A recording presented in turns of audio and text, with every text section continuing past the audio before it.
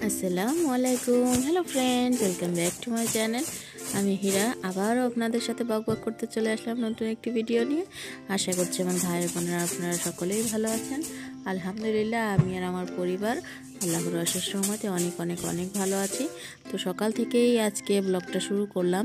হাফসার বাবা ওয়াশরুমে গিয়েছে আর এই দিক দিয়ে আমি বিছানা কয়টা গুছিয়ে নিয়ে তারপরে রান্নাঘরে ঢুকে যাব। বিছানা কয়টা গুছিয়ে নিচ্ছে, হাফসা আমার সাথেই সকাল সকাল ঘুম থেকে উঠে যায়। ও সকালবেলা উঠে একটু আমার হাতের সাথে অনেক সময় কাজ করে, আবার অনেক সময় হাতে হাতে কাজ করে দেয় না। আসলে ঘুমের থেকে উঠে বাচ্চা মানুষ তো একটু ধ্যান হয়েই বসে থাকে। তো এখন বারান্দায় গিয়ে বসে রয়েছে।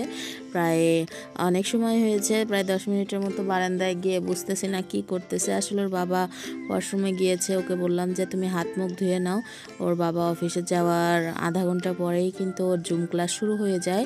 তো যার জন্য আগে আগেই একসাথে উঠে বসে থাকে। আর আমি যে সকালবেলার যে টুকিটাকি কাজগুলো, সেগুলো সেরে নিচ্ছি, দুটো বিছনা গুছিয়ে নিলাম। আর প্রতিদিনই হাফসার পড়ার টেবিল আমাকেই গোছাতে হয়। মেয়েটা আমার বড় ঠিকই হচ্ছে, কিন্তু ও কাজ করতেই চায় না। মাঝে মাঝে ইচ্ছা করে কিন্তু অনেক কাজ আমাকে গুছিয়ে করে রাখে, যেগুলো আমার এই যে টুকিটাকে আমার করা লাগে। আবার মানে মাঝে মাঝে বললেও সে করতে চায় না, তার মন নিয়ে কথা। তো যাই হোক, এই টুকিটাকি কাজ সকালবেলা এগুলো হাতের কাজ সেরে নিতে হয়। তো আমি টেবিলটা মুছে এখন ঘর, বাসি ঘরটা ঝাড়ু দিয়ে নিব। হাফসার বাবা সকালবেলা অফিসে যাওয়ার আগ দিয়েই আমি টুকিটাকি যতটা কাজ পারি সেরে রাখি। কারণ সারাটা দিনই কিন্তু আমার টুকিটাকি অন্যান্য যে কাজগুলো থাকে, সেগুলো করতে হয়। বাড়তি যে আমি মেশিনের কাজ করি, তারপর আপনার আপনার অর্ডারি কাজগুলো করি। আমার মেয়েকে নিয়ে বাইরে যেতে হয়, মেয়ের পড়াগুলো গুছিয়ে দিতে হয়। এ তো এই টুকিটাকি সময় এমনিতেই কেটে যায় আমার কাছে মনে হয়।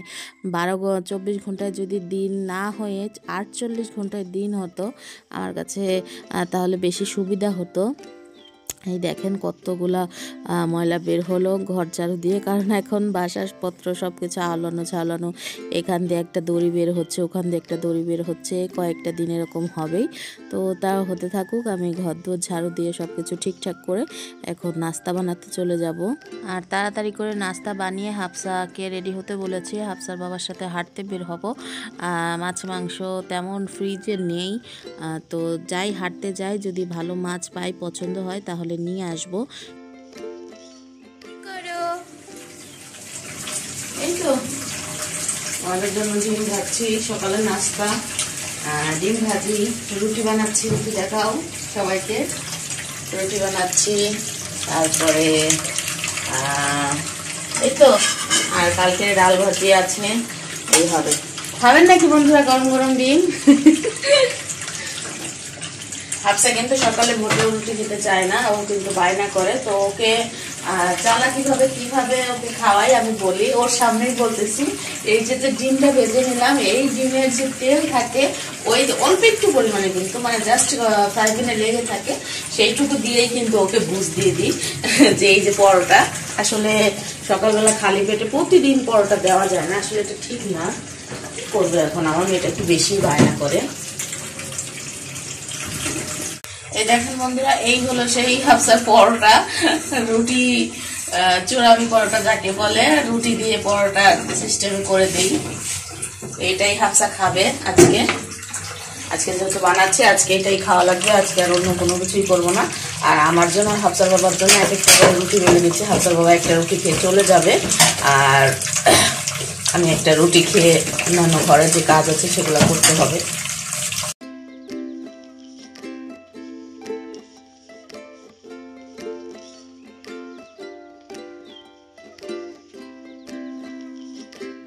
ভেবেছিলাম যে হাফসার বাবার সাথে একসাথে বের হয়ে যাব হাঁটতে।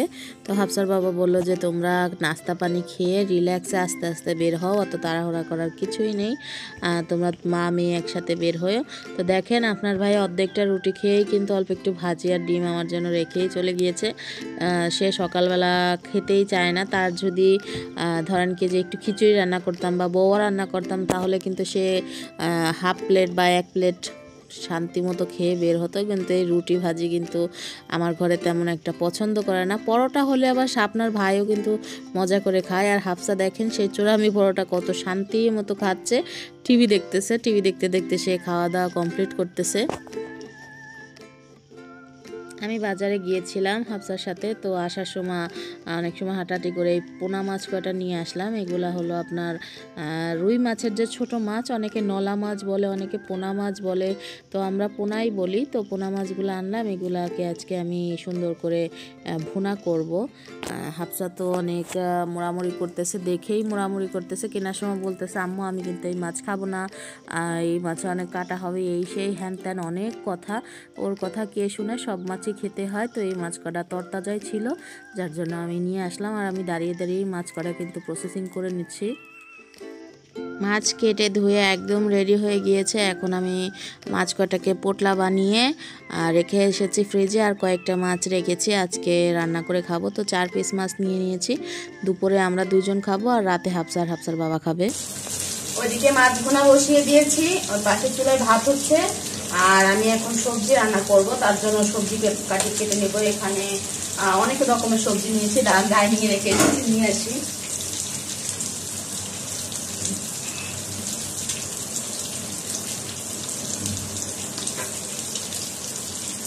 এখানে টমেটো, ধনিয়া পাতা, পেঁপে, ফুলকপি সব কিছু নিয়েছি, বাঁধাকপি সব কিছু দিয়ে একটা সবজি রান্না করব। সবজি বলতে কি, ডাউলও দিব, ডাউলের ভিতরে সবজিগুলো দিয়ে তারপর আপনার বাগার দিয়ে দিব। ওই হোটেল স্টাইলে সকালে খায় না, যে ভাজিওয়ালা সবজিটা সেটাই করব, কিন্তু একটু অন্য টাইপের ঘরোয়া স্টাইল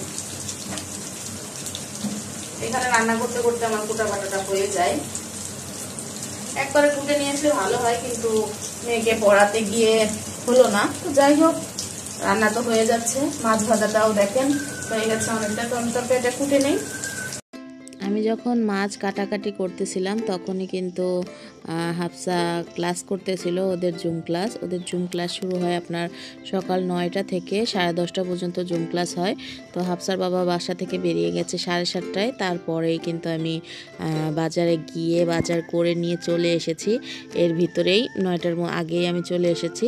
আর মাছ কাটাকাটি করে তারপর মশলাপাতি সব কিছু রেডি করতে করতে হাফসার জুম ক্লাস হয়ে গিয়েছে। তারপরে গিয়ে আপনাদের সাথে আমি রান্না বাড়া করার যে টুকিটাকি প্রসেসিং সেগুলো আপনাদের সাথে শেয়ার করছি। আর মাছগুলো আমরা সকলেই পারি এখানে।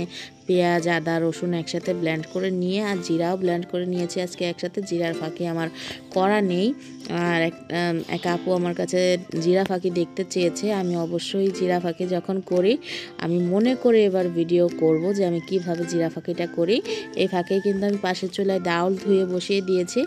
আর যে সবজি কটা কেটে নিলাম, সেগুলোও দিয়ে দিলাম একসাথে। ওটা সিদ্ধ হতে থাকুক। শুধু পাঁচ ফোড়ন তেজপাতা আর একটু শুকনো মরিচ, একটু আপনার পেঁয়াজ রসুন দিব না, ওই আপনার সবজিটার ভিতরে যে ডাউল দিয়ে করতেছি, রসুন দিব না। ডাউল দিয়েছি, তাতে কি ইচ্ছা রসুন না দিয়ে আজকে বাগারটা দিব। ওই যে বললাম, একটু অন্য টাইপের সবজি করতেছি আজকে। এরকম মাঝে মাঝে পাঁচ ছয় পদের সবজি, ডাউল সব কিছু মিলিয়ে ছিলিয়ে নিয়ে রান্না বসিয়ে দিলেই কিন্তু মাঝে মাঝে উল্টা পাল্টা রান্না করলেও মজা হয়ে যায়।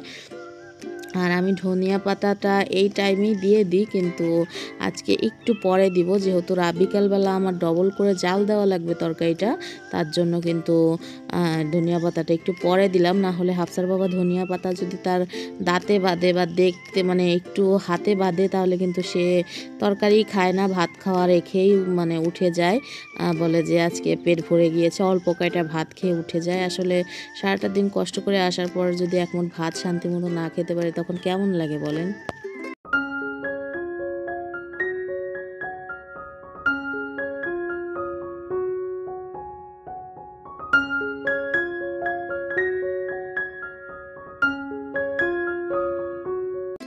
দুপুরে ঘুম থেকে উঠে একটু বাইরে এসেছিলাম, বাইরে বলতে কি ছাদে এসেছি। তো কাপড় চোপড় নাড়া ছিল, সেগুলো নিতে এসেছি। এখন দেখি কয়েকজন বাচ্চা, তারপর ভাবিরা সবাই উপরে এসেছে। তো বসে বসে অনেক সময় গল্প করলাম। হাফসা বাচ্চাদের সাথে খেলাধুলা করল। তারপরে অনেক সময় বসে রইলাম। তারপর মাগরেবের আজানের টাইম প্রায় হয়ে গিয়েছে। অন্ধকার হয়ে যাচ্ছে। যখন আজানটা দিল, তখনই আমি ঘরে আসলাম। আর আজকে হাফসার বাবা যেহেতু সাড়ে পাঁচটায় আসবে বাসায় ও আজকে ওভার টাইম আর করবে না। তো আমার বিকালে হালকা পাতলা নাস্তাও করতে হবে। এখন কি নাস্তা করব ভাবতেছিলাম। তো তার মাঝেই মনে আসলো যে আজকে শুধু দুধ, জাল দিব। আর যে টোস আছে, ওই টোস দিয়েই খাইয়ে দিব। আজকে আর কোনো রান্না ভাড়া ঝামেলা করতে যাব না। সব সময় যদি রান্নাঘরে এই দিনটা পার হয়ে যায়, তখন কিন্তু নিজের কাছে নিজেকে অনেক বোরিং লাগে যে নিজের জন্য একটু টাইম বের করতে পারলাম না। তো এই হলো আমাদের আজকের বিকালের নাস্তা। বন্ধুরা, আজকের ছোটোখাটো আমার ভিডিওটি আপনাদের কাছে কেমন লাগল অবশ্যই জানাবেন। আর আমার ভিডিওটি ভালো লাগলে প্লিজ আমার চ্যানেলটিকে সাবস্ক্রাইব করে পাশে থাকবেন। আমার জন্য দোয়া করবেন, আমি যেন সামনের দিকে অনেকটা এগিয়ে যেতে পারি। আর যারা যারা আমার চ্যানেলটিকে অলরেডি সাবস্ক্রাইব করেছেন, তাদেরকে অসংখ্য অসংখ্য ধন্যবাদ। এইভাবেই আমার পাশে থাকবেন, আমার জন্য দোয়া করবেন, আমি যেন সামনের দিক অনেকটা এগিয়ে যেতে পারি। তো বন্ধুরা, আমার ভিডিওটি এইটুকুই। আপনারা সবাই ভালো থাকবেন, সুস্থ থাকবেন, নিজের শরীরের খেয়াল রাখবেন, অবশ্যই পাঁচ অক্ত নামাজ পড়বেন। আল্লাহ হাফেজ, ভালো থাকবেন সবাই। আসসালামু আলাইকুম, দেখা হবে নতুন কোনো ভিডিওতে।